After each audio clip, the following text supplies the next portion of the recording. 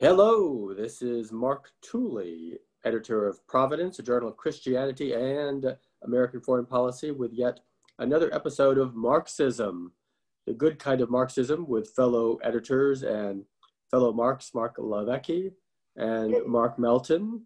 And today we will review uh, several items of accomplishment from Providence uh, over the last week, including a uh, wonderful summary of eight points regarding Christian realism from Eric Patterson, a Providence contributing editor, an interview with the Portuguese political thinker uh, Bruno Maçães on his new book uh, the, about the birth of a new America, about uh, Habib Malik, the uh, famous Lebanese writer, uh, some commentary from him on Lebanon's future, and uh, finally, a few words about Christian ethics and vigilantism. So, fellow Marks, and especially you, uh, Marc LiVecche, Eric Patterson's uh, review of eight points, central points for Christian realism, how do they contrast uh, with, uh, I believe, the 11 central points of Christian realism that you offered a few weeks ago? I don't know if they do they contrast. I think they compare favorably. Mm. But uh, they're not at odds, but they're slightly different they are slightly different. I am going to produce the five points of Christian realism for next week. I think I'm going to boil it down even further, and then eventually there'll just be a point. Yes, which is I think exciting. Uh, all the topics that we're going to talk about that I want to talk about today, uh, and this might point to Melton's genius. I think there are significant points of overlap, and one of them is this idea that Eric touches on with Christian realism not being a uh, a sort of a, a self-determined school of thought with its with its key founders, its point of origin, its strict dogma. Uh, instead, it has its dogma, uh, but the dogma manifests in in more supple ways, more fluid ways, ways that are are case specific.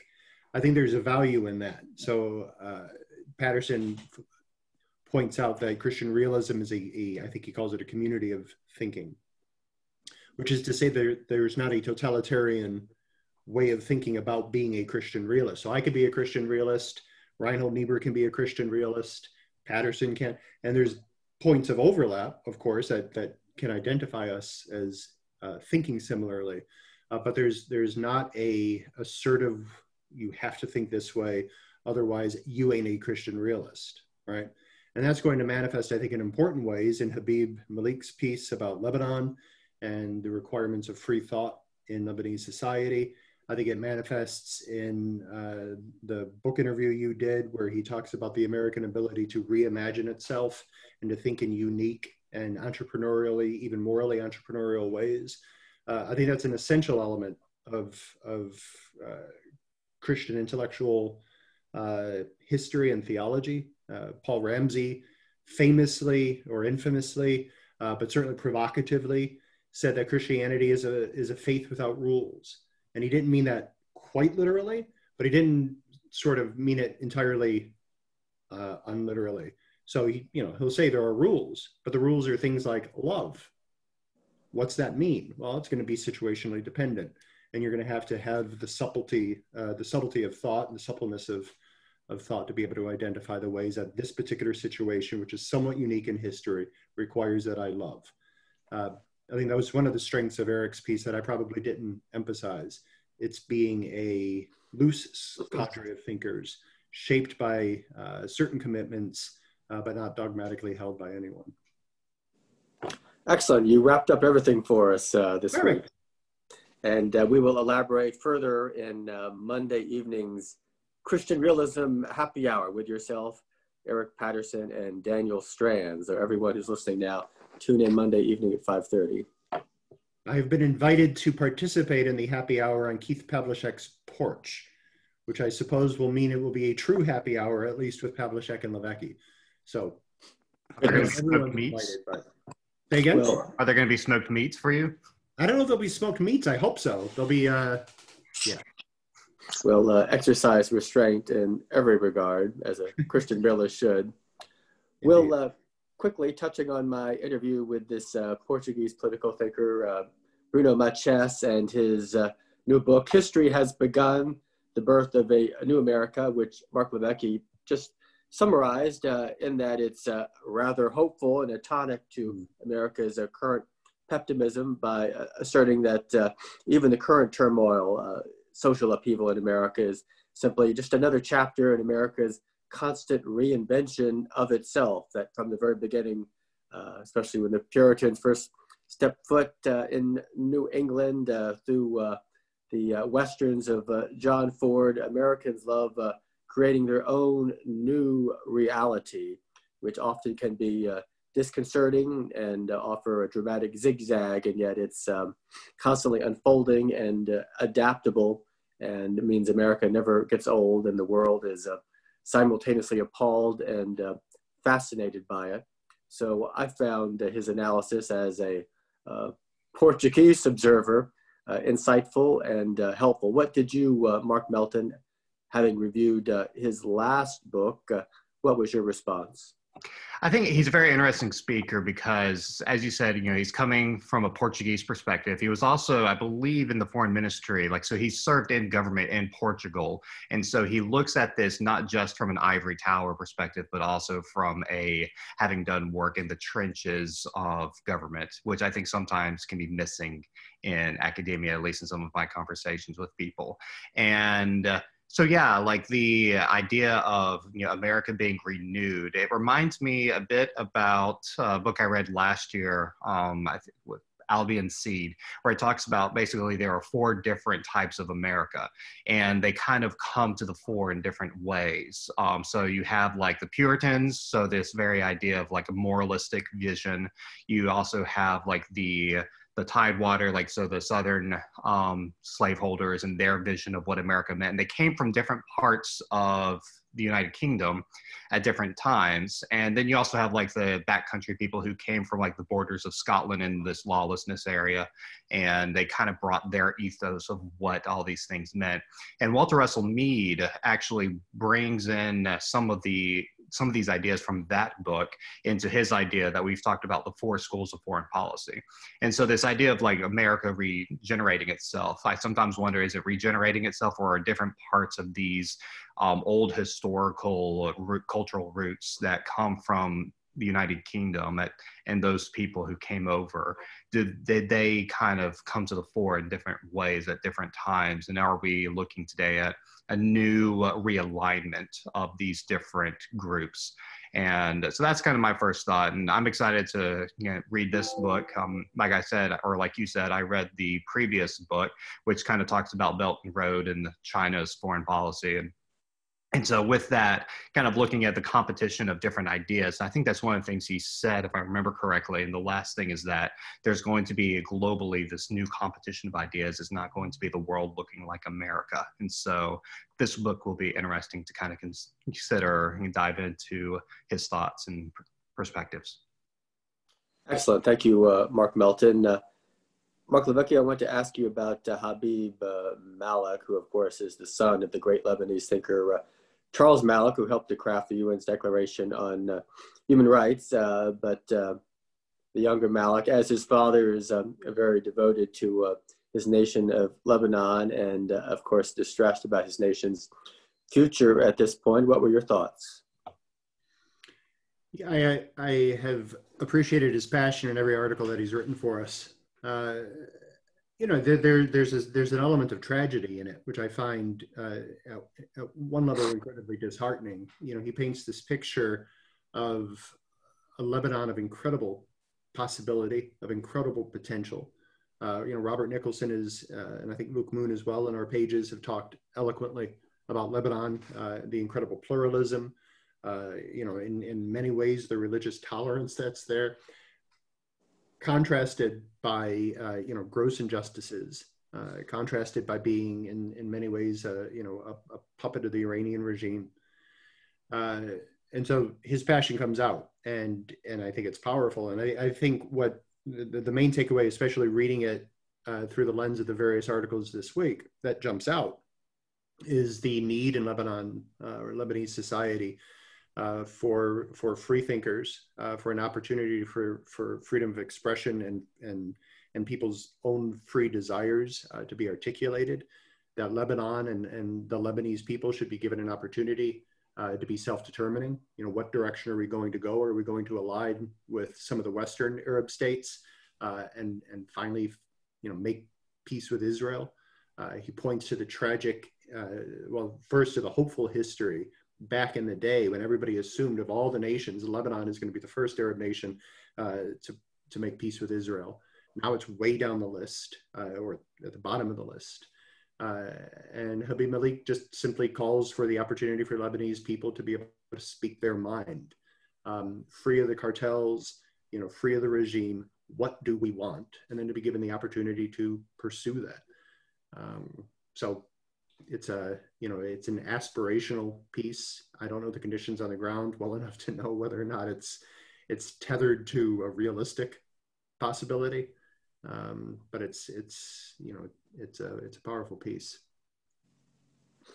And then uh, almost finally uh, mark LiVecche conducted an interview with uh, just war scholar uh, keith Pavlischek about uh, vigilantism uh, tell us just a little bit about that mark LiVecche yeah, it, it originated from a conversation on Keith's back porch uh, with Smoked Meats about Rittenhouse and media perceptions. Remind us who Rittenhouse is. Rittenhouse is a 17 year old boy who was in Kenosha uh, doing a variety of different things. He's, he's a lifeguard in Kenosha. After his, his shift, he went uh, with, an, with a, a semi automatic rifle to help a group of citizens protect various buildings that were under threat. The police had withdrawn from the area. They had sort of cordoned off a section.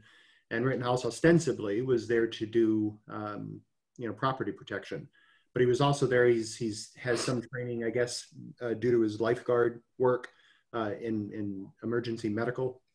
And so he was there also to help some of the protesters who were being tear gassed and various things. So I think there's there's footage of him giving people uh, aid uh, to recover from some of the the, the um, uh, tear gas.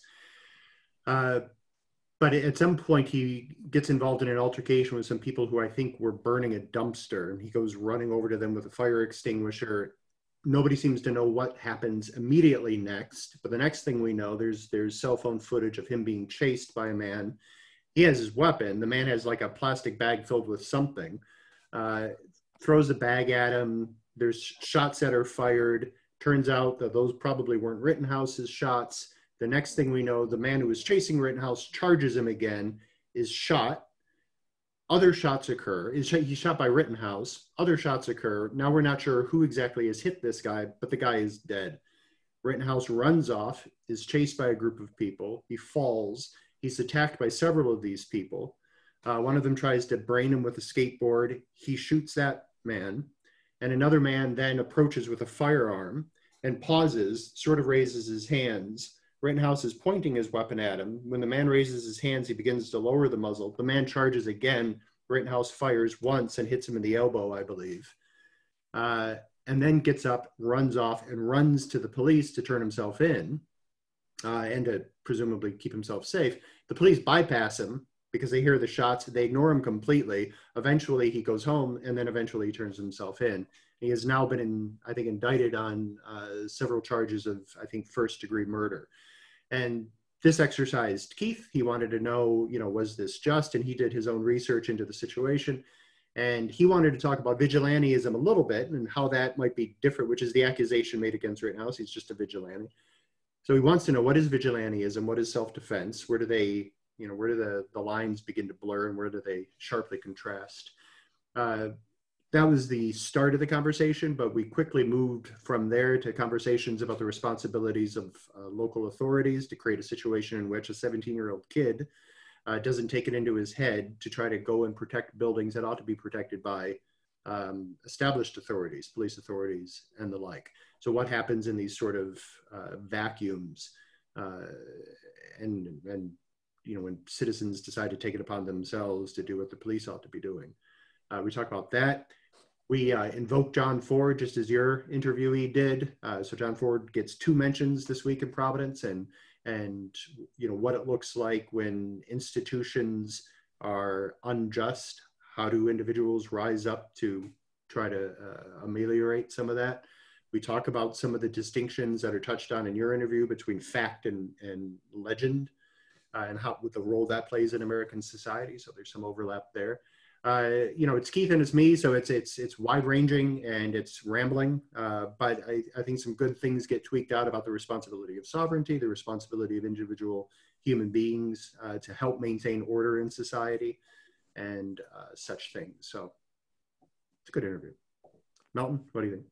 Well, and finally, uh, let me uh, jump in that I just have to mention from my own sheer delight that I uh, interviewed this uh, British uh, political scientist about his new biography on the Portuguese longtime dictator Salazar, who evidently is celebrated by some American Catholic integralist.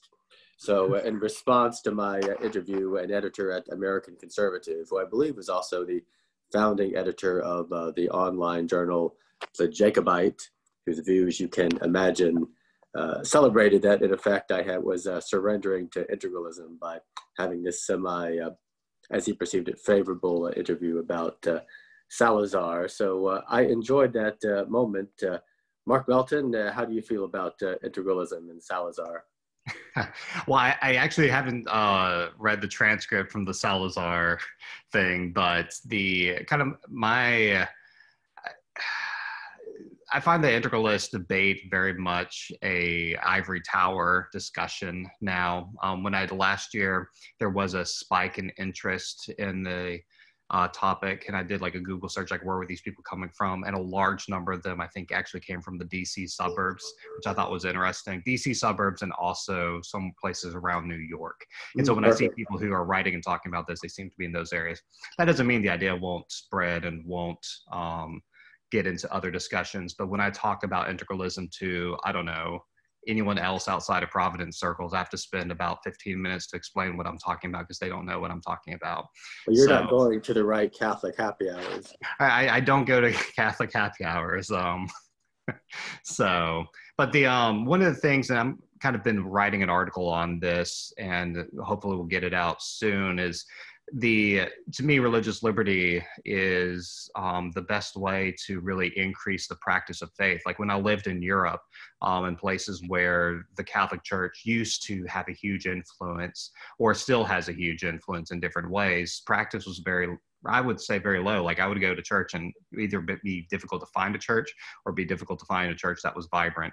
Probably the most vibrant place in Europe that I saw was in St. Andrews, but that was because I think a lot of churches emphasized um, the you know participating like trying to reach out to college students there. But the compared to like living in mississippi where there's a church on every corner. And so the idea to me is that um, when you increase the uh, religious freedom, you increase a religious market um, where enterprising uh, churches can spring up and serve the needs of the people. And so, my concern with kind of the direction of integralist thought is that it would kind of diminish that. But again, I kind of see it as an ivory tower discussion. Like, I don't, um, I know they they would probably denounce me on Twitter for this stuff, but I they don't. Should, and hopefully they will. But uh, as we understand it, you as a Mississippi Presbyterian are not embracing the integralist agenda. No, it, it, like the logic just does not compute for me. Um, on a lot of the points they make, it just doesn't. It doesn't. Yeah, it doesn't compute. Right, you Mark Melton and Marc LiVecche, thank you for another uh, titillating uh, conversation of uh, Marksism. And until Monday evening and our Christian realism happy hour, bye bye.